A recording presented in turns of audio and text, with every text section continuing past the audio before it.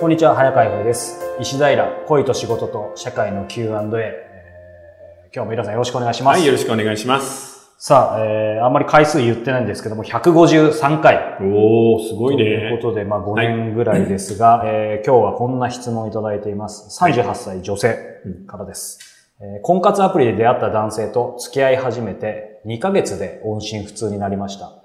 しかしそれから4ヶ月後に、えー、急に連絡が来てまた会いたいと言われ、好きな気持ちが残っていたので会ってしまいました。音信不通になった理由を聞くと、実はバツイチで中2と小4の子供がいるとのこと。奥さんが育てており、子供とは別居していますが、うん、養育費は払っているそうです。バツイチとバレて嫌われるのは怖くて、私と連絡取るのはやめたそうです。えー、私はそれでも好きな気持ちが大きいので、また付き合ってゆくゆくは結婚したいと思っていますが、周りの友人からは嘘つきはやめた方がいいと言われています。また親には話せていません。バツイチであることを告白してくれてから何でも話をしてくれて嘘はないと信じていますが、あまりにも周りにやめた方がいいと言われるので悩みます。このまま付き合い始めても良いのでしょうか？うわあ、これはちょっとなんか彼のことがわからないよね。38歳女性。うん。で、彼女も38歳っていうのもあって、少し焦り気味だと思うんだけど、はい、でも正直言ってもこういう風な気持ちになっちゃったら周りが止めても無駄なんだよね。ああ、そうですね。そう、だからとりあえず付き合っちゃえば、ただすぐに結婚しないで少し付き合って様子を見てみたらどうかな。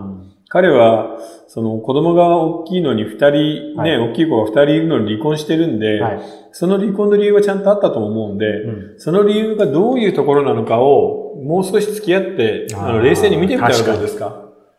その彼の言葉で何を言うかとかも大事ですけど、うん、そうやって付き合って言葉にならない何かを感じるのも大事ですよね。そうそうそううん。で、あの、2ヶ月付き合って、4ヶ月空いて、その間になんか他の中なんかがいるかいないかっていうのもちゃんと、はいね、見といた方がいいし、うん、ただ、今周りがやめなやめなって言っても無駄だから、とりあえずもうちょっと付き合って様子を見る。結婚は早まらない方がいいと思うな、うん、どっかに何かやっぱり問題があったと思うんだよね。そうですね。でも皆さんおっしゃるようにこの方も悩みますって書いてる時点で、まあ、ご自身としてはちょっと求められないところはあるんでしょうね。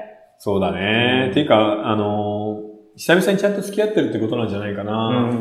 それで少し、あのなんていうの？あの、心がそっち側に引っ張られちゃってるってことだと思うんだけど、でもまだわかんないよね。ねだって2ヶ月だもんね、付き合って。その後4ヶ月空いていて、まただから。しかも急に連絡が来ててね、うん、ちょっと男側の感じでいくと、まあ他にもいろいろいて、みたいなところなんかありそうな感じしますね。そう、だから多分僕もね、なんかそれが問題だと思うんだよね。うん、多分、あの、女遊びがすごい好きな人で、バツイチでモテるし、婚活アプリの中だと入れ食いになっちゃうんで、そういう遊び人でないかどうかを少し付き合ってよく見てからでいいんじゃないですかね。ああ、そうか。婚活アプリって僕も前、あの、女性、知り合いに見せてもらいましたけど、結構、やばい人が多いから、うん、まともそうな感じだと確かに入れ食いになっちゃうかもしれないですね。ね話ですけど、うん。だからちょっと、心配は心配だよね。うん、ただそれも自分の人生だしさ、なんか、ダメ男と付き合っても楽しいっていうこともあるからね。そうですね。